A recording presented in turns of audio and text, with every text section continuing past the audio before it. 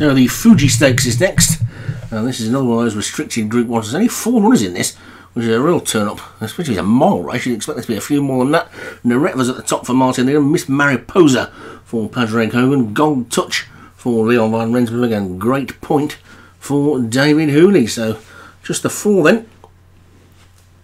And this, so that we know problems with getting boxed in. They're all installed and ready to go, and away they go. And the Retva the slowest of the four away. Miss Mariposa in the yellow, just about the early leader, but nothing seems all that keen to burst into the lead. Ah, and Miss Mariposa in the yellow for Padraig Hogan in the centre. Closest to us, Leon van Rensburg's gold touching the blue.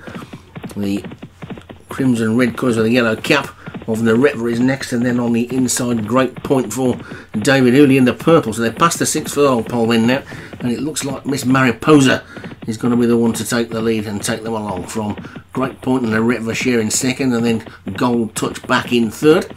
As they're already down past the five furlong point, Miss Mariposa is too clear of Great Point in second, Naretva He's third. Not sure the ground will be soft enough for that one. A real heavy ground specialist who is coming back next season to go in the national hunt team. I can tell you that's a good way to bow out of the flat would be to win a Group 1, wouldn't it? But it's Miss Mariposa in front from Naretva in second, and then Great Point is second. His third, sorry. Gold Touch is back in fourth. They're past the three pole, and Miss Mariposa going easily in the lead. They've been pushed along behind Great Point and Naretva trying to close. Gold Touch is about three lengths adrift of them back in fourth as they turn into the straight now with two furlongs to go. Miss Mariposa, he says go on that one. Great Point tries to chase. Naretva's back in third. Gold Touch back in fourth. And it's Miss Mariposa coming past the furlong point. Oh, what they're going to get to this Miss Mariposa at the moment. Great Point second. Naretva third. And Gold Touch fourth. And Miss Mariposa is hanging on in the lead as they race into the final half furlong. And this is going to be an easy win for Miss Mariposa. Miss Mariposa takes it from Great Point, Naretva and Gold Touch.